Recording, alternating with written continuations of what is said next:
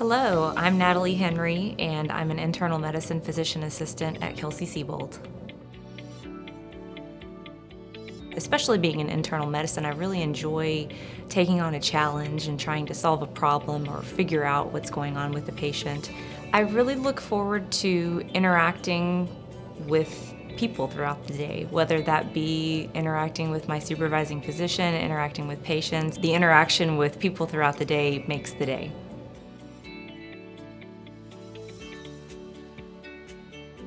I'm really impressed that Kelsey-Seybold is ahead of the curve in healthcare as an accountable care organization. I'm also very impressed by the fact that Kelsey-Seybold puts uh, such importance on uh, quality patient care and really getting the best value in healthcare.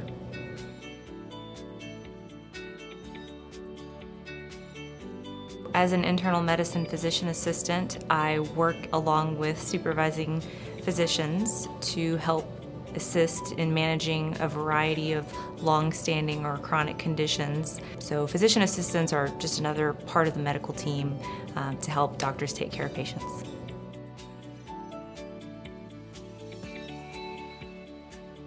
I get satisfaction from seeing patients along their journey and seeing them feel better and knowing that I'm contributing to helping them feel better and, and have a better quality of life. I'm a pretty down-to-earth person, so I believe that having a mutual trust and having a personal touch in medicine is how both the practitioner and the patient can come out with the best satisfaction and best outcome.